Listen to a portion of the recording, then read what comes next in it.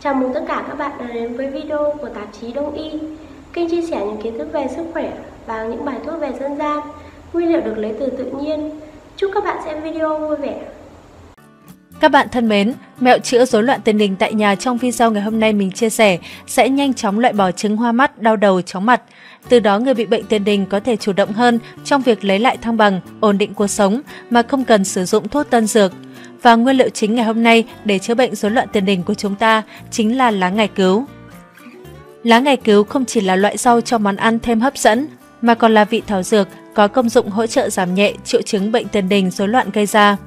Nhưng không phải chỉ cần mỗi ngày cứu là xong mà các bạn sẽ phải kết hợp thêm một số nguyên liệu khác nữa để có được hiệu quả cao nhất. Vậy nguyên liệu cần chuẩn bị ở đây là gì? Thì giờ xin mời các bạn hãy cùng mình chuẩn bị một số nguyên liệu như sau. Nguyên liệu mà các bạn cần chuẩn bị đó là 1 lít nước lọc,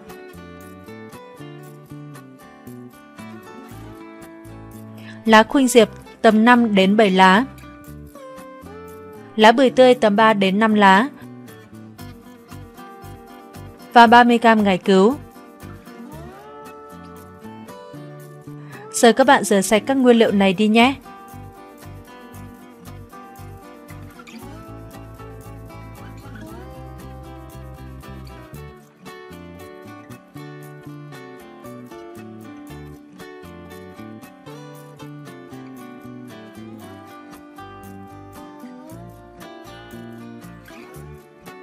Tiếp tục bây giờ chúng ta thái nhỏ ra.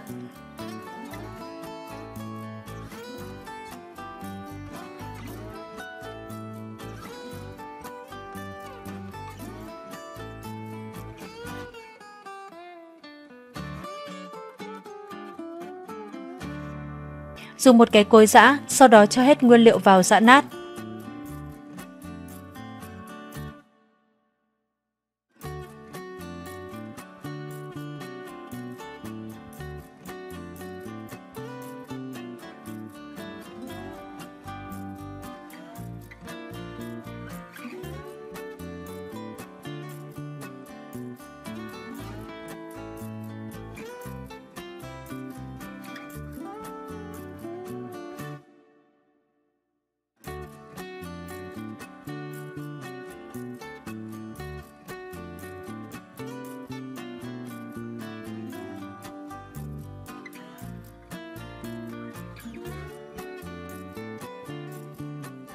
Như vậy mình đã giã xong, giờ mình sẽ cho ra một cái bát.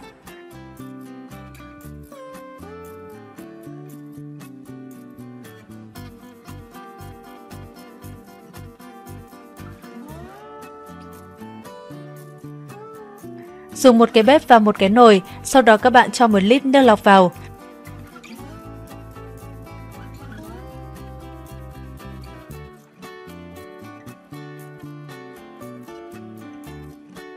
Giờ cho hết nguyên liệu giã nát vào.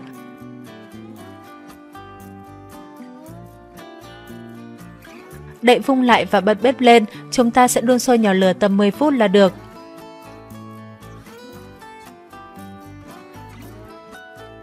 Như vậy mình đã đun xong, giờ tắt bếp đi. Như vậy là chúng ta đã hoàn toàn xong rồi đấy các bạn, và đây là nồi hỗn hợp dùng để chữa rối loạn tiền đình của chúng ta. Rất là đơn giản phải không các bạn? Và cách sử dụng như sau. Các bạn sẽ sử dụng dưới dạng sông hơi nhé. Ngay sau khi đun xong thì các bạn hãy ghé mặt vào, sau đó dùng một cái chăn hoặc một cái khăn to chùm cả đầu mình lại. Giờ hãy ngồi sông cho tới khi nồi hỗn hợp nguội đi là được.